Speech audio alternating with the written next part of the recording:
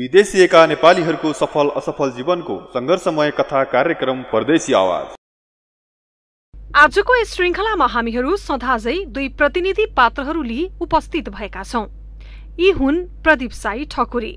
सिस्नेरी मकवानपुर जिल्ला घर भएका ठकुरी विगत लामो समयदेखि दुवैलाई आफ्नो कर्मथलो बनाई ड्राइभिङ पेसामा आबद्ध हुनुहुन्छ। उहाँका एक श्रीमती एक छोरा र बाबुआमा हुनुहुन्छ। यी हुन् महेश गिरी भक्तपुर गुण्डुका गिरी लामो समयदेखि दुबईमा काम गर्दै आउनु भएको छ। आबुधाबी पुलिसको रूपमा कार्यरत गिरी एक श्रीमतीका साथ दुबईमा बस्दै आउनु भएको छ। नेपालमा नेपाली सेनाको जागिर छोडी उहाँ दुबई जानु भएको हो। मेरो घर भक्तपुर गुन्डु म आएको टु थाउजन्ड टूमा आएको। चौध वर्षमा लाग्दैछ। धेरै लामो समयदेखि बसियो। राम्रो छ। म आबुधाबी पुलिसमा टु थाउजन्ड टूमा आएको। म लगायत हाम्रो ग्रुप आएको थियो। हामी यहाँ आएर ट्रेडिङ गऱ्यौँ। यहाँ आएर ट्रेडिङ गरिसके पछाडि मेरो ड्युटी सुरु भयो। अनि देश छोड्दा त कसैलाई पनि खुसी त हुँदैन होइन? देश छोड्नु पर्ने र आउ आउँदा त कोही पनि खुसी त हुँदैन। तैपनि अब आफ्नो देशमा त्यो त्यो बेलामा काम गरेर बस्ने स्थितिहरू थिएन। म पहिला आर्मी पनि हो गिरी नेपाली सेना अन्तर्गतको त्रिभुवन आर्मी क्लबका तेकोन्दो खेलाडी पनि हुनुहुन्छ। त्यसैले गर्दा पनि आफू आबुधाबी पुलिसमा नै सुहाउने हुनाले यसै क्षेत्रमा आवेदन दिएकोले गर्दा उहाँलाई निकै सजिलो पनि भयो र म्यान पावर र दलालबाट बची अगाडि बढ्न निकै सजिलो भएको उहाँको अनुभव छ। आफ्नो खेलाडी भएको कारणले सबभन्दा राम्रो नै आबुधाबी पुलिस। यहाँ यहाँभन्दा पहिला म आउनुभन्दा पहिला आउने चाहिँ मेरो यहाँ गुरु साथी गुरुहरू नि हुनुहुन्थ्यो ताइगन्तकै गुरुहरू। त्यो कारणले सबभन्दा राम्रो नै आबुधाबी पुलिस। कि आबुधाबी पुलिस कि हाम्रो लागि मकाउ राम्रो थियो त्यो हिसाबमा चाहिँ अनि आबुधाबी पुलिस चाहिँ राम्रो भएको कारणले आबुधाबी पुलिस आइयो। अब सम्झना भन्नाले अब आफ्नो ड्युटी एकदम राम्रो हो। यहाँ एकदमै जाहिर राम्रो छ। अब यसमा हामीले बिस्तारै बिस्तारै हामी सोसल वर्क जाहिर प्लस हामी सोसल वर्कमा धेरै लाग्यो। हामी पनि त्यही भन्दैछौ। अरूको हल्ला र सल्लाहको लै लैमा लागि अगाडि बढी पैसा र भविष्य बिगार्नु बाहेक अरू कुनै विकल्प छैन। यसरी हल्लाहरूको भरमा कुनै सोच विचार नगरी आएका धेरै नेपालीहरू भेटिन्छन् यहाँ। आफै आबुधाबी पुलिसमा भएको कारणले गर्दा उहाँको जिम्मेवारीमा धेरै समस्याहरू आउँछन्। तिनका समस्याका बारेमा काम गर्नु निकै चुनौतीपूर्ण कुरा हो। धेरै अरूभन्दा पनि कोही दुःख पाएको मान्छेलाई हामीले सहयोग गर्दाखेरि भयो। आबुधाबी पुलिसले हामीले पशुपतिमा दुई दुई सय पचासवटा ब्ल्याङ्केट डोनेसनहरू गरेको थियौँ। आबुधाबी पुलिस र यहाँको सिआडी पुलिस। होइन विदेशीहरूलाई जति पनि बाहिरको लोकलभन्दा बाहेकलाई सबलाई सेम हो। होइन नेपाली एम्बेसीमा काम गर्ने होइन। नेपाल एम्बेसीको कर्मचारी होइन। अब हामी धेरै नेपालीहरू काम गर्न पासपोर्ट बनाउन आउनेको एकदम पासपोर्टको धेरै समस्या र लिन आउने बनाउन आउनेको समस्या भएको कारण यो थियो। त्यो कारणले हामी निस्वार्थ एउटा भोलिन्टियरको रूपमा चाहिँ हामी सहयोग गर्न गएको हो होइन? अब यसमा चाहिँ दूतावासले पनि हामीलाई सहयोग गरेको हो। हामी सहयोग गर्न चाहन्छौँ भन्दाखेरि राजदूत साहब लगायत सबै एमबिसीको सरहरूले पनि सपोर्ट हामीलाई गर्नुभएको। विदेशिनु आफैमा राम्रो कुरा भने होइन तर पनि राष्ट्रको विषम परिस्थितिले गर्दा विदेशिने युवाहरू विदेशिन बाध्य छन्। लामो समयसम्म घर परिवार साथीभाइ इष्टमित्र चाडपर्व जस्ता कुराहरू त्यागी बस्न कसलाई पो मन लाग्दछ र तर पनि युवाहरू बाध्य छन्। यस्ता कुराहरूले कहिलेकाहीँ गिरीलाई पनि सताउने गर्दछ। घरमा अब घरलाई त जहिले मिस गरिरहन्छ होइन विदेश बसिसके पछाडि। अब हरेक चाडबाडहरू अरूको बिहा बटुलहरू यस्तोहरूमा जान मिल्दैन। सबै अब छोडेर आइसकेपछि यी कुराहरू त सबै मिल्दैन त्यो। अब नेपालमा पनि अब सबै पनि हो नि चाडबाडदेखि सबै नै पाउने विदेश नै बस्ने भन्ने त हुँदैन। अब बुवा आमालाई अब नमस्कार होइन? आफ्नो दाजु भाउजू नमस्कार। दिदी भिनाजु इष्टमित्र साथीभाइ जति पनि मलाई चिन्नेहरूलाई सबैजनालाई नमस्कार सम्झना एकदम सम्झेको छु। त्यही हो सब होइन? लगभग हामी तिस लाख चाहन्छौँ हामी विदेशिएका छौँ तिस लाख अब सरकारको अनुमान अनुसार त्यस्तो छ। अब देश देशमा जुन जब जब शान्ति हुन्छ र देशमै रोजगारको अवसर पायो भने मान्छे कोही पनि विदेशी होइन। आज राष्ट्रबाट विभिन्न मुलुक गरी लगभग तीस चालिस लाख युवा शक्ति बाहिरिएको अवस्था छ। राष्ट्रलाई आज अमन शान्ति र स्थिर राजनीतिक वातावरणको आवश्यकता छ। त्यसैले समयमा नै सोची अगाडि बढी देशका युवा शक्तिलाई केन्द्रित गरी कल कारखानाहरूको विकास गरी राष्ट्र अगाडि बढाउने हो भने गिरी जस्ता लाखौं युवाहरू विदेशिनु पर्ने थिएन। पायो भने मान्छे कोही पनि विदेशी होइन विदेशी नरहनु। अहिले म अहिले यत्रो वर्ष म भइसकेको छु देशमा राम्रो हुने अब अब अब गएर हामीले काम गर्ने भन्दा कुनै एउटा सानोतिनो एउटा बिजनेस गर्ने हिसाबको वातावरण बनेको खण्डमा हामी यहाँबाट छिटो जान्छौँ। हामी सबै कुनै पनि देश जुन युरोपमा जाने मान्छेहरू र युरोप अमेरिका बस्नेहरू नेपाली नागरिकता त्यागेर बसेकाहरू उता पिआर डिबी लाउनेहरू सायद आउँदैनन् होइन? नेपालको भन्दा उनीहरूलाई वहीँ राम्रो भएको होला वहीँ नेपालको नागरिकतै छोडि छोडिसके पछाडि त उसलाई के मतलब हो र नत्र भने खाडीका मान्छे चाहिँ थोरै मान्छे हुनुहुन्छ आफ्नो राम्रो बिजनेस गरेर परिवारसहित यहाँ बसेको बच्चाहरू यहीँ पढाउने यहाँ त्यहाँको। नत्र भने जो मान्छे पनि देशकै चिन्ता छ। नेपालीले हामी स्वदेशमा नेपाली बस्या होस् या विदेशमा अब नेपालीले के चाहिँ चाहँदैन? भने कसैको जातको धर्मको युद्ध। अब फेरि देशमा बन्दुक पड्कोस् बारुद पड्कोस् कसैले चाहँदैन जातीय साद सद्भाव बिगार्न कसैले पनि चाहँदैन। हाम्रो पनि चाहना त्यही हो। जस्तो हरेक हामी मिलेर बसेको मान्छे कुनै नेताको लैलेमा लागेर कसैले नचाहिने कुरा गर्यो कसैले आफ्नो आफ्नो व्यक्तिको स्वार्थमा कुरा गर्यो भने पनि त्यसको पछाडि हामी लाग्नु हुँदैन। विदेशिएका नेपालीहरूको सफल असफल जीवनको सङ्घर्षमय कथा कार्यक्रम परदेशी आवाज। विदेशी भूमिमा स्वदेशी स्वाद वर्षौँदेखि आफ्ना ग्राहकहरूलाई सन्तुष्टि दिन सफल। नेपालीहरूको मेहनतमा स्वदेशी स्वाद एकमात्र रेस्टुरेन्ट नेपाली रेस्टुरेन्ट। युएई भ्रमणका क्रममा जानै पर्ने ठाउँ बर्दुबई सहरमा अवस्थित चिर परिचित रेस्टुरेन्ट नेपाली रेस्टुरेन्ट। सरलाई food stop LLC Dubai. Fresh food for the modern life. Nepali मन नेपालीपन नेपालीको चाहना सरलाई फुड स्टप हाम्रो विशेषताहरू। नेपालमै उत्पादित सामग्रीलाई अन्तर्राष्ट्रिय बजारसम्म पुर्याउने लक्ष्यका साथ सञ्चालक देव धिमाल सहसञ्चालक दिल धिमाल। हामी कहाँ स्वदेशी तथा विदेशी यात्राको व्यवस्थित भ्रमण गराउनुका साथै सुलभ मूल्यमा राष्ट्रिय तथा अन्तर्राष्ट्रिय हवाई टिकटको बिक्री वितरणको व्यवस्था गरिन्छ। राष्ट्रिय अन्तर्राष्ट्रिय विभिन्न ठाउँको टुर प्याकेज गराउनुका साथै योग्य अनुभवी टुर ट्रेकिङ गाइडको सल्लाहमा भ्रमणसँग सम्बन्धित सम्पूर्ण कार्यक्रम बनाउनु परेमा हामीलाई सम्झनुहोस्। Proprietor Nilesh Adhikari Akarshan travel and tour प्राली Bagbazar एकतिस काठमाडौँ। फोन शून्य एक बयालिस बाह्र चार सय तिन। शाखा कार्यालय तिलोत्तमा नगरपालिका शङ्करनगर पाँच रूपन्देही। फोन शून्य एकहत्तर एकचालिस एकचालिस सत्ताइस। देश विदेशमा रहनुभएका सम्पूर्ण नेपालीहरूमा नववर्ष दुई हजार त्रिहत्तर सालको हार्दिक मङ्गलमय शुभकामना। घोष राइटिङ नेपाल परिवार थापा गाउँ काठमाडौँ नेपाल। सिन्धु फार्मेसी जोरपाटी परिवार गोकर्णेश्वर बाह्र काठमाडौँ नेपाल। दुग्ध सागर फर्म परिवार Ghattekulo Kathmandu Nepal. Follow focus private limited Pani Pokhari Kathmandu. Everest amine परिवार Salik Subedi Dubai. Everest Marina LLC परिवार काशी बिक दुबई।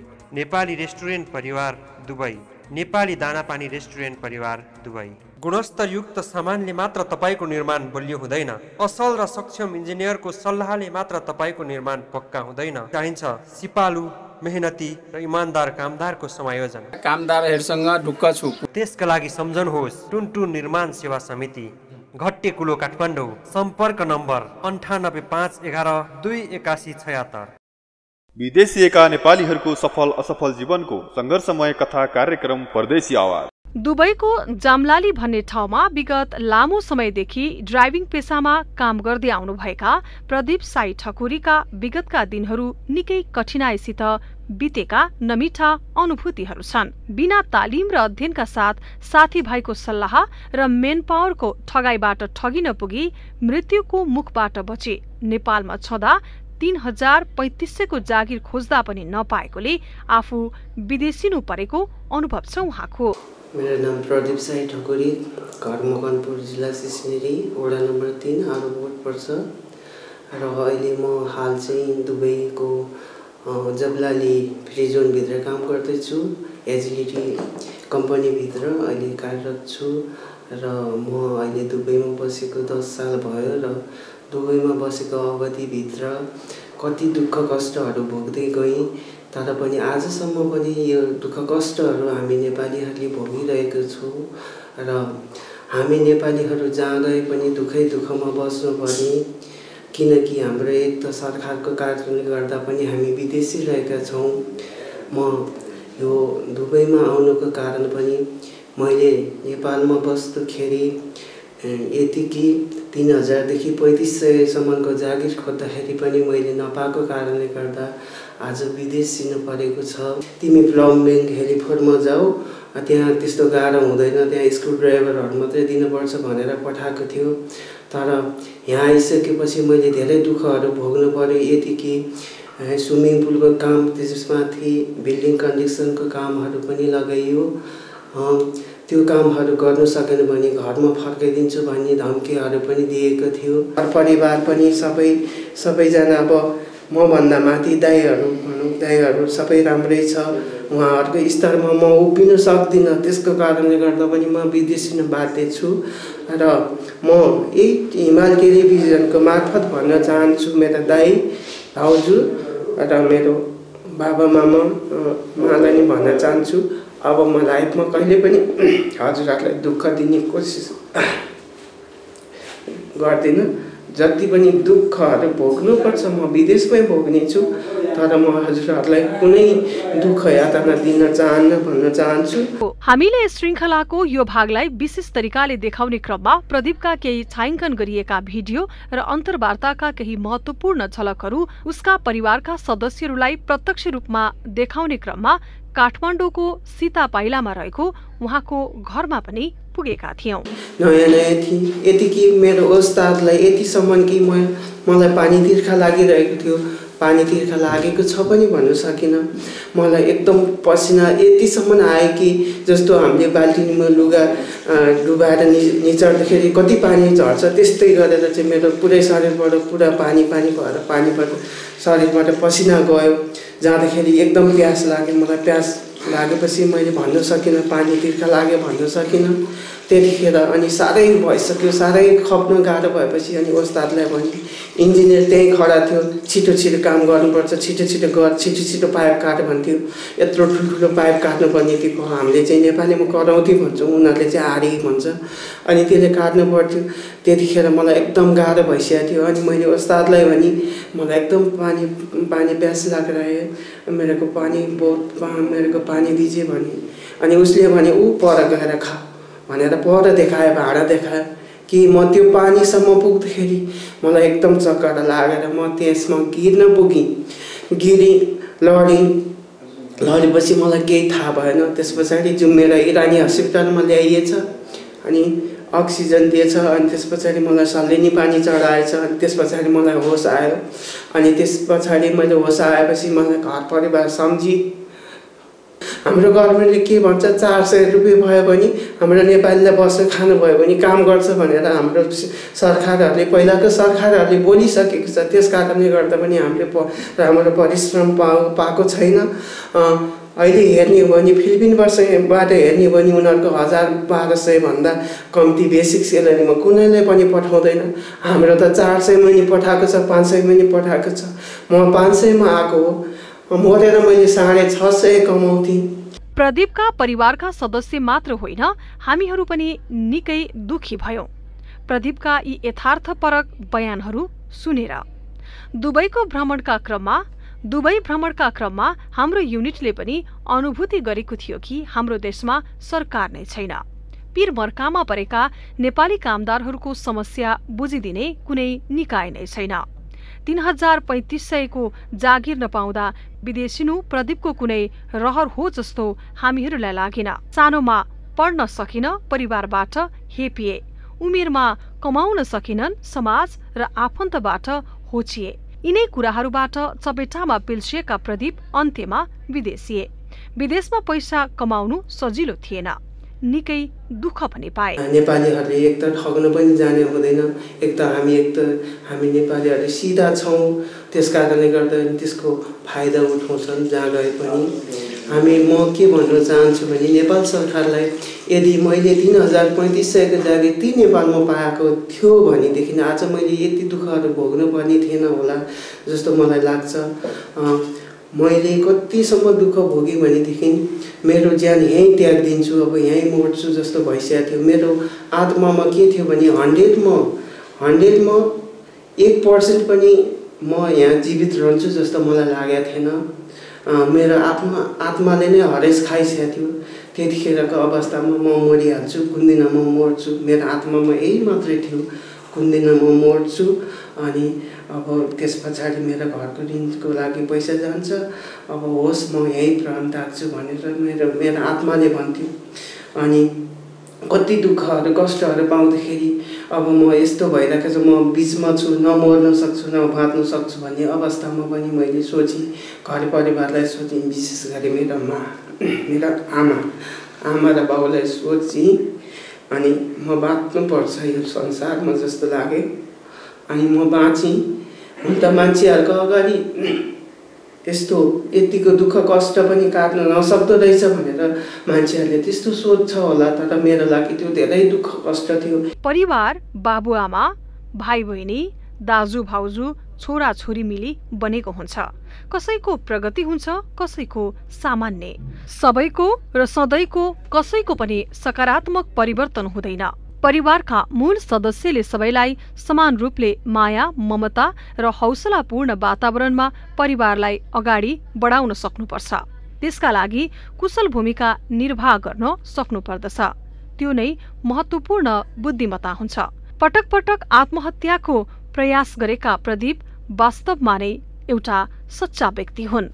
दुवै आएपछि मलाई काम लाउँछु लाउँछु लाउँछु भनी नलाउने लाउँछु भन्ने नलाउने गर्यो अनि म आफैले फेरि एउटा तामिम भन्ने कम्पनीमा काम गरेँ। काम गर्दाखेरि मैले त्यहाँ भने जति तलब पाउने थिएन। किनकि म त्यसमा त म अल्झिन मात्रै थियो। त्यस कारणले गर्दा म त्यहाँ भिसा लगाउन राजी भएँ थोरै तलब दिए पनि म काम गर्न त्यहाँ मेरो बाध्यता थियो। त्यसैले म काम गर्न त्यहाँ सुरु गरेँ। अनि काम गर्दाखेरि मलाई त्यहाँबाट पनि राम्रो भएन मलाई। त्यहाँ दुःख चाहिँ एकदम धेरै बिहान पाँच बजीदेखिबाट राति दस एघार बाह्र बजीसम्म ड्युटी तर त्यहाँ भने जति परिश्रम पाइएन। अनि त्यस्तो हुँदा हुँदा मलाई मेरो घर परिवारबाट पनि म म एकदम अलिकति नराम्रो हुन पुगिसकेँ। एक मनले त सोध्छु लोग्ने मान्छे भएर रुनु हुँदैन भन्छ तर एक मनले त म एकदम मेरो आत्माहरू रुन्छ दुःख दुःखहरू सम्झिँदाखेरि। त्यसैले म त्यस पछाडि घरमा जाँदाखेरि पनि एक मनले त लाग्छ म यो घर परिवार छोडेर म कुनै ठाउँमा गएर बसौँ जस्तो पनि लाग्यो मलाई। तर मेरो आमा बाउ छ मेरो परिवारहरू छ भनेर म फेरि जति दुःख भए पनि हाँस्ने कोसिस गरेँ। अनि कसैलाई दुःख देखाइन। बरु म एक्लै कसैले नराम्रो भन्यो भने बरु म एक्लै रुन्छु घरमा। किन भन्दा मेरो दुःख छ। तर घरको मान्छेले पनि बुझ्दैन न त समाजले बुझ्छ न त घरको मान्छेले बुझ्छ न कसैले बुझ्छ। कसैले बुझ्दैनन् मेरो दुःख पीडालाई त्यसैले म एक्लै रुने गर्छु घरिघरि म घर पनि छोडेर हिँड्ने गर्छु। राम्रो कम्पनी पाएको छु। मलाई अहिले हप्तामा दुई दिन छुट्टी छ अनि सालमा छुट्टी छ सालमा बोनस छ। अहिले मलाई धेरै राम्रो भएर आइसकेको छ। ए हुन त मान्छेको जिन्दगीमा एकबार सुख एकबार दुःख भन्थ्यो। त्यस कारणले गर्दा मैले पनि एकबार दुःख भोगे पनि होला सायद। अझै पनि भोग्नु बाँकी पनि होला तर म भोग्न तयार पनि छु। किन भन्दा मैले जति पनि दुःखहरू भोगिसकेँ अब मलाई अब आउने कष्टहरू चाहिँ म हाँसेर हाँसेर नै म कष्टहरूलाई चाहिँ काट्न चाहन्छु। विदेशिएका नेपालीहरूको सफल असफल जीवनको सङ्घर्षमय कथा कार्यक्रम परदेशी आवाज। विदेशी भूमिमा स्वदेशी स्वाद वर्षौँदेखि आफ्ना ग्राहकहरूलाई सन्तुष्टि दिन सफल। नेपालीहरूको मेहनतमा स्वदेशी स्वाद एकमात्र रेस्टुरेन्ट नेपाली रेस्टुरेन्ट। युएई भ्रमणका क्रममा जानै पर्ने ठाउँ बर्दुबई सहरमा अवस्थित। चिर परिचित रेस्टुरेन्ट नेपाली रेस्टुरेन्ट। सरलाई food stop LLC Dubai. Fresh food for the modern life. Nepali मन नेपालीपन नेपालीको चाहना सरलाई फुड स्टप हाम्रो विशेषताहरू। नेपालमा उत्पादित सामग्रीलाई अन्तर्राष्ट्रिय बजारसम्म पुर्याउने लक्ष्यका साथ सञ्चालक देव धिमाल सहसञ्चालक दिल धिमाल। हामी कहाँ स्वदेशी तथा विदेशी यात्राको व्यवस्थित भ्रमण गराउनुका साथै सुलभ मूल्यमा राष्ट्रिय तथा अन्तर्राष्ट्रिय हवाई टिकटको बिक्री वितरणको व्यवस्था गरिन्छ। राष्ट्रिय अन्तर्राष्ट्रिय विभिन्न ठाउँको टुर प्याकेज गराउनुका साथै योग्य अनुभवी टुर ट्रेकिङ गाइडको सल्लाहमा भ्रमणसँग सम्बन्धित सम्पूर्ण कार्यक्रम बनाउनु परेमा हामीलाई सम्झनुहोस्। Proprietor Nilesh Adhikari Akarshan travel and tour प्राली Bagbazar एकतिस काठमाडौँ। फोन शून्य एक बयालिस बाह्र चार सय तिन शाखा कार्यालय तिलोत्तमा नगरपालिका शङ्करनगर पाँच रूपन्देही। फोन शून्य एकहत्तर एकचालिस एकचालिस सत्ताइस। देश विदेशमा रहनुभएका सम्पूर्ण नेपालीहरूमा नववर्ष दुई हजार त्रिहत्तर सालको हार्दिक मङ्गलमय शुभकामना। घोष राइटिङ नेपाल परिवार थापा गाउँ काठमाडौँ नेपाल। सिन्धु फार्मेसी जोरपाटी परिवार गोकर्णेश्वर बाह्र काठमाडौँ नेपाल। दुग्ध सागर फर्म परिवार Ghattekulo Kathmandu Nepal.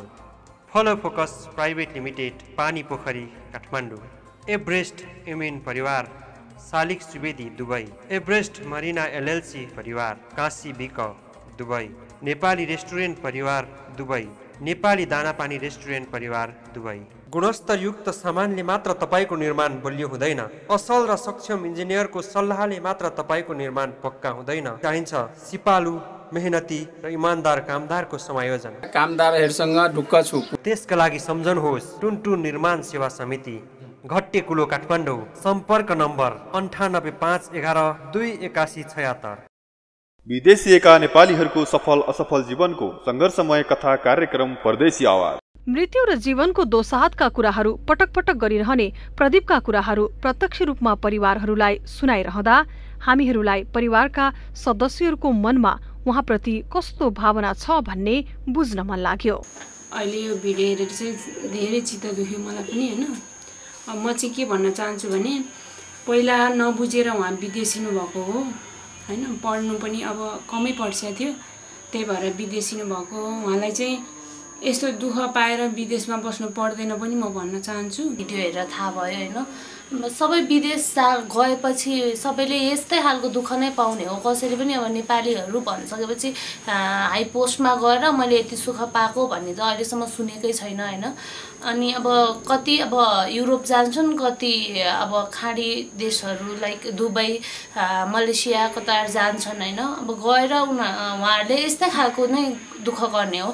अनि अब यो भिडियो हेरेर चाहिँ एकदम नराम्रो लाग्यो। आफ्नो मान्छेले मात्रै दुःख पायो भन्ने कुरा होइन। नेपालबाट जानुभएको सम्पूर्ण दाजुभाइ तथा दिदीबहिनीहरू धेरै अब अहिले नेपालमा हुने सङ्ख्याभन्दा बाहिर जाने सङ्ख्या एकदम धेरै बढिरहेको छ। अब कस्तो लाग्नु अब दुःखको कुरा गर्दा रुन मन लाग्यो पिर लाग्यो।